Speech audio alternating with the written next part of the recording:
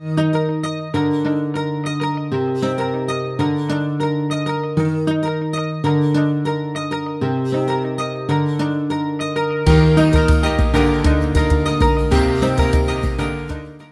this year for Christmas, I had to make a cake and it needed a gingerbread house on top of the cake. I was being a little bit lazy and saw this box and I decided to buy it and test it at the same time. If you like this type of tutorial, feel free to subscribe to my channel. All links are posted in the comment box below. Also, make sure to hit the notification bell to make sure you receive notifications. I haven't bought one of these houses in probably around 25 years, so I didn't remember that they come pre-built. I thought they didn't, but I was a little bit surprised that they are already pre-built. I do remember that the royal icing used to come in powder form and now it comes already mixed. It comes also with a piping bag and decorations for the house. Here is the house and as you can see it comes wrapped in plastic and it has a lot of royal icing that they use for the glue which is something I don't like because it looks really weird when you're decorating it. But let's face it, this is mostly bought for kids. And then you have some adults that don't want to bake and want something fast and easy.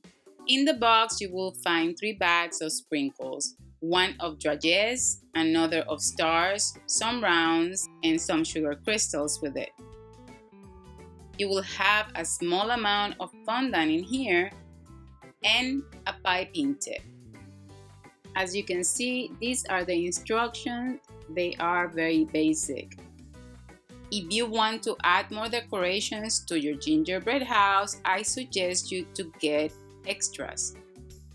I am not used to work on pre-built houses. I find it easier to decorate the house and then put it together.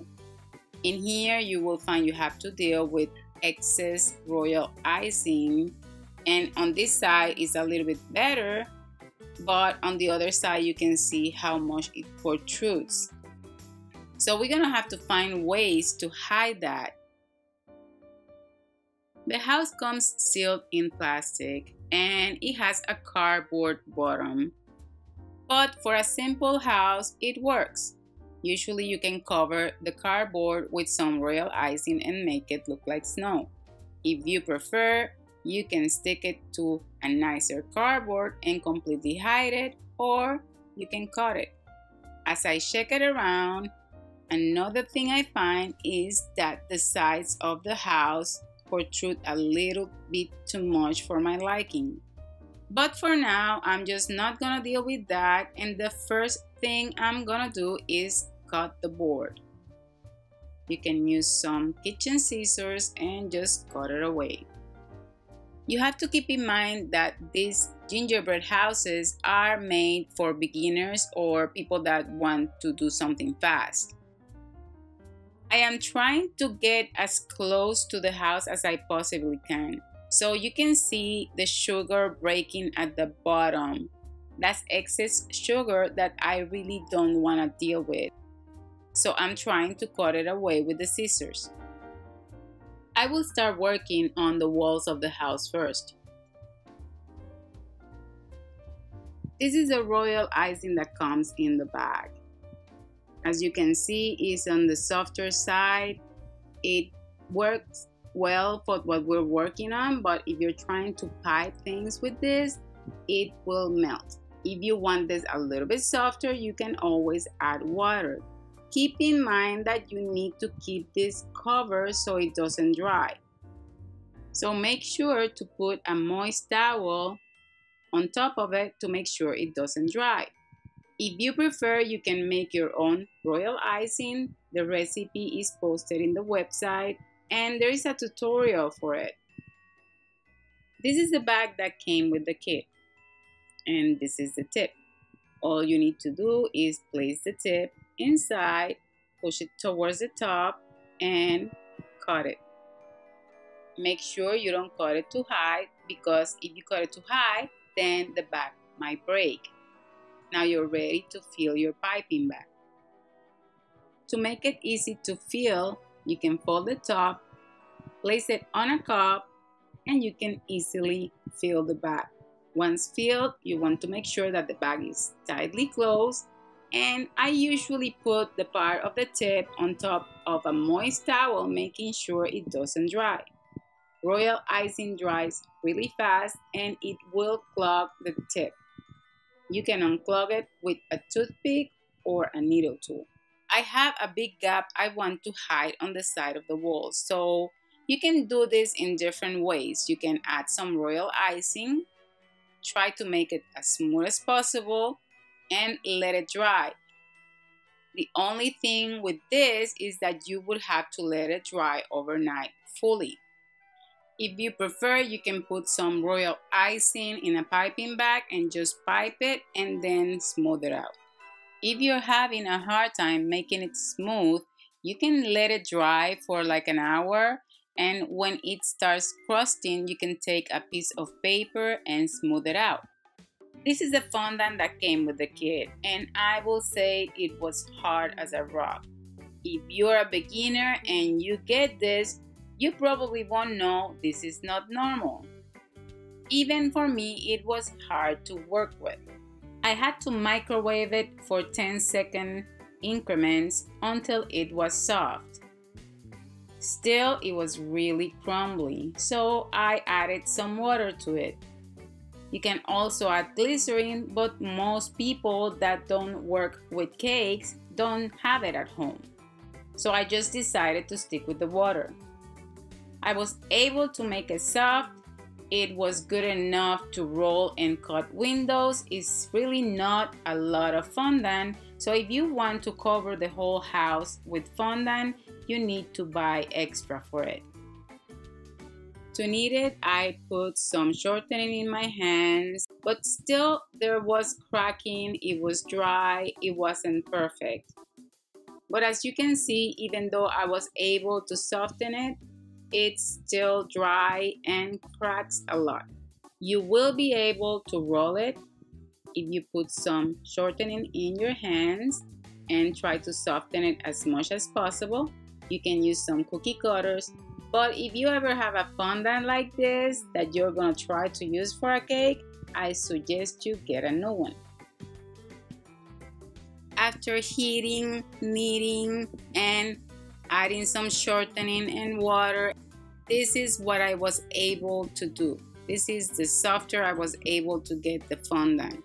I was able to cut doors and windows with it so you can use it. But if you want to cover the whole house, it's not enough. So if you're a beginner and you never work with fondant, this is how good fondant is supposed to look. You can see it stretches really well and it doesn't crack easily. I decided to place a piece of fondant on top of the sides of my cookie house because it was so deep in there I want to level it and make it more even with the other side. I have one side that is deeper than the other side and it looks completely weird. Plus all the icing on the sides, it just didn't make it even. So I just wanted to even the whole thing out. I want to make the windows ahead of time so they dry before I place them on the gingerbread house. To make it easier, I am using some post-it notes and I just fold it in half. Once folded in half, you can cut it and that could be your door.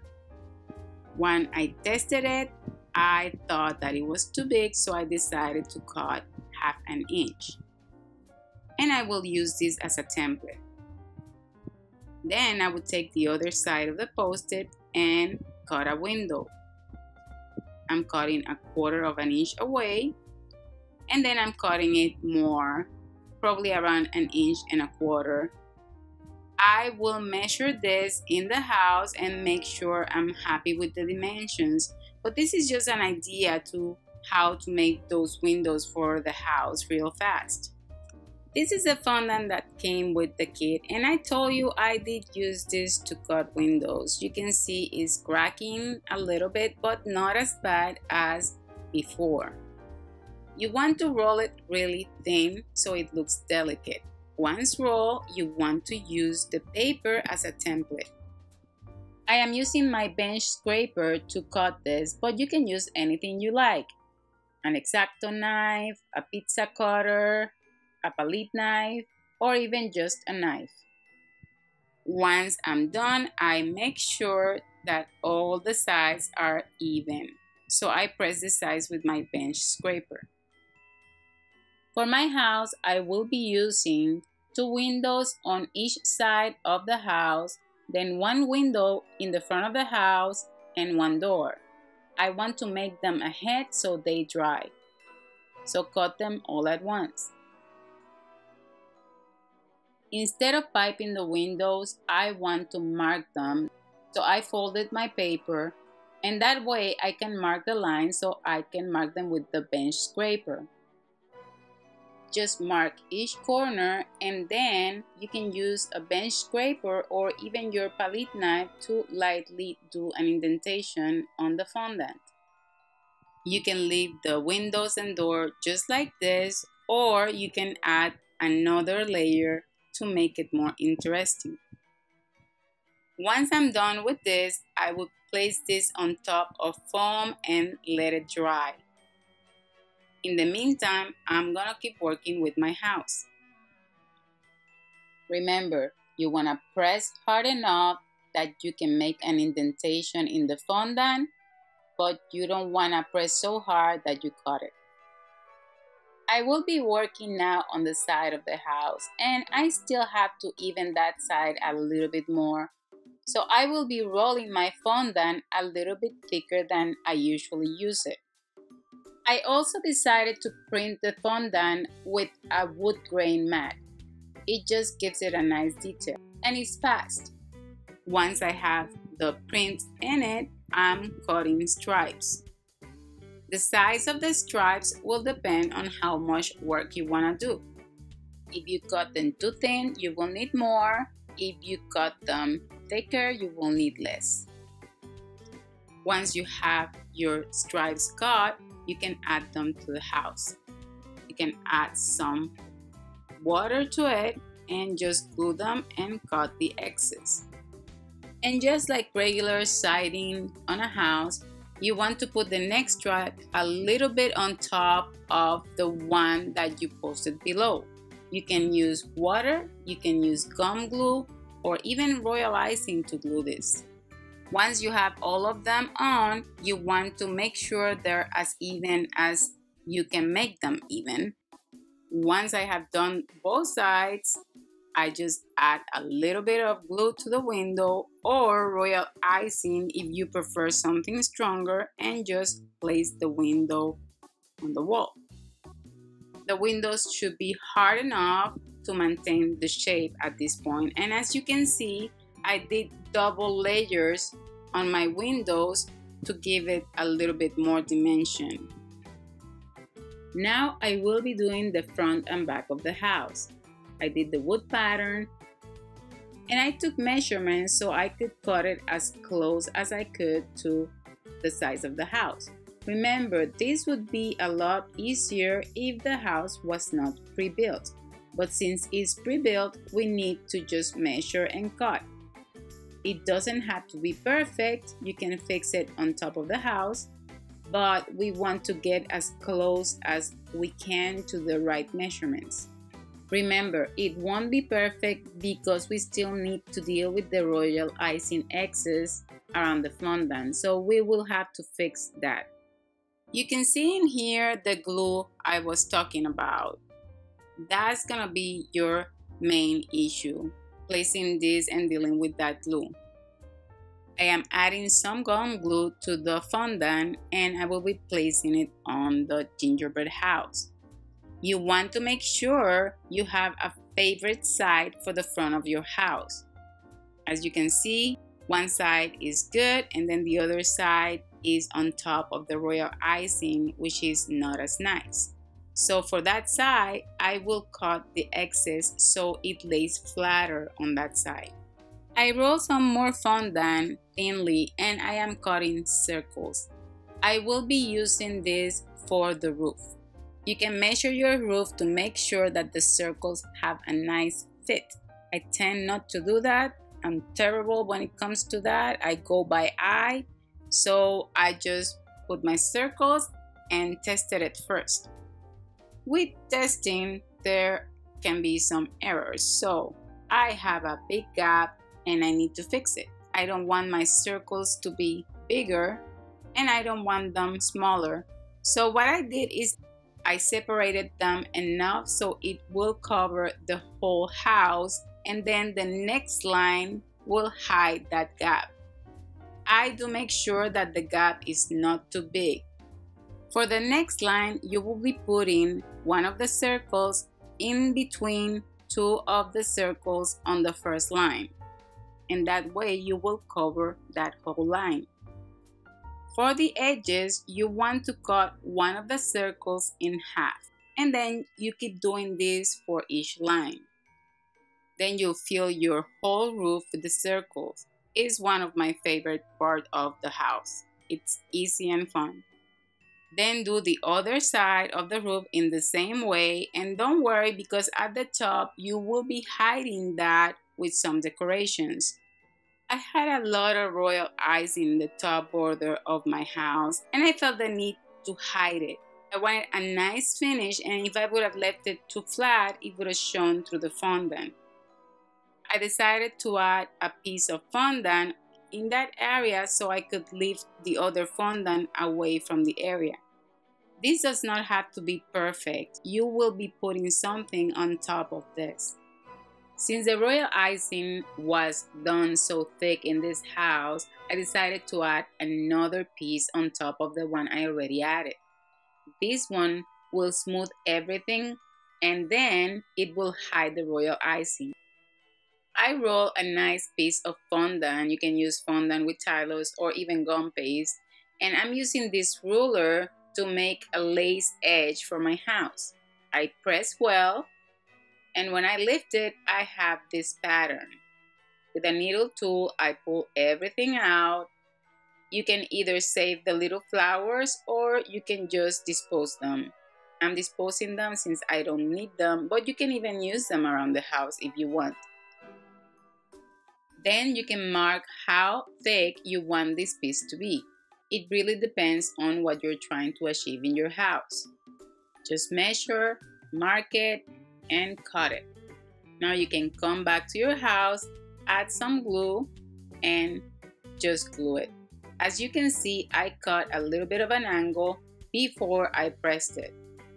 If you're not good at cutting things by eye, you can place it on the house, mark it, and then cut it. That way you will have a good match. Remember, this area will be hidden. You want it nice and clean but if you don't have a perfect match, don't worry because I will show you how to hide it. For cake competitions, you need to have things perfectly clean, but when I'm working with cakes in real life, I need to be able to move fast. So it's all about clean but fast.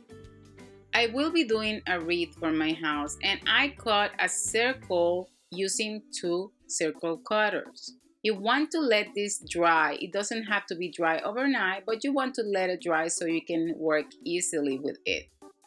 I am piping on top of it some shells using a tip number 16. In a bowl, I have some dragees. Remember, royal icing dries fast, so as soon as you finish piping, you want to be ready to just drop this on the dragees. I am not pressing down on the circle. I'm just making sure that the dragees are getting stuck to the shells. Remember, the shells are still soft. You don't want to crush them, so you have to be careful with this. Once you're done, you can use a palette knife to make sure everything sticks everywhere. Then with your fingers, just press everything. And you can add more if you want to. Now with a small round tip, I'm using a number 2. I am adding some dots and I will be adding bigger dragees. You can decorate this any which way you want. To cover my edges, I did exactly the same as I did with the wreath, except I did strips of fondant. I am adding a little bit of royal icing to make sure it sticks really well, and then I will be adding the strips. Once I place the strip, you can add some dots and add some dragees just like you did with the wreath to make sure everything is well finished. I didn't let these strips dry fully they are a bit moist still and that way I can shape them around the house. Once you're happy with the placement, you can add more dragees if you need to. And I added some stars. I use the same technique to finish all the corners in the house, including the sides and the back of the house. I added a silver candy in the center of the roof. This will hide the seam. Then I place a drop of icing in the center and added a dragee. You can clean excess of royal icing with a moist brush. Once I'm done with that, I added some dots around it just for decoration. After I finish piping the dots, once again, I take my brush, it's a little bit moist, and I make sure that I don't have points on top of those dots. This will clean it up. Now you can finish your roof. I am adding dots of royal icing and on top of them I will be adding some dragees. You can use any color of dragees. I am using pearls, but you can use the golden, you can use the silver, or you can use all of them. I am adding a dot of royal icing where the door handle should go and adding a golden dragee. Then I added some royal icing on the back of the wreath and place it on the house. At this point, you can add more decorations to it if you want it. I added some stars. I decided to add some gold around the windows. It would be easier to do this before you add the windows to the house. I decided to do this last minute, so I am doing it as they are already attached. If this happens to you, just make sure to use a nice small brush. To finish the house, I decided to add some icicles. I piped some dots first and then I just press my tip and just pull it a little bit. If you want longer icicles, just keep piping but stop the pressure and keep pulling. I use a tip number one for this. If you want bigger icicles, you can use a bigger tip. Always use a moist brush to fix anything that you don't like.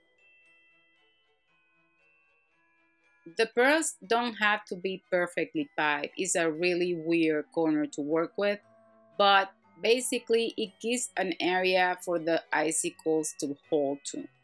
In other words, I'm just saying that it makes it easier to pipe the icicles on top of the pearls.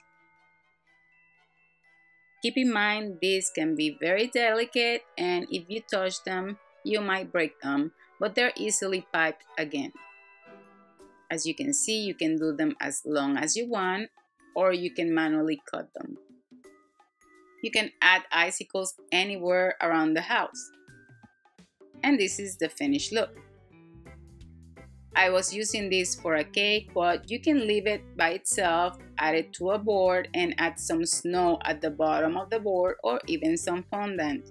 Dragees will finish the look or you can just leave it simple. This will depend on what you want to achieve. I hope you enjoyed this tutorial. All links are posted in the comment box below. Don't forget to subscribe to my channel, visit me in Facebook, Instagram, share your work with me, and visit my blog. Until next time, ta-ta!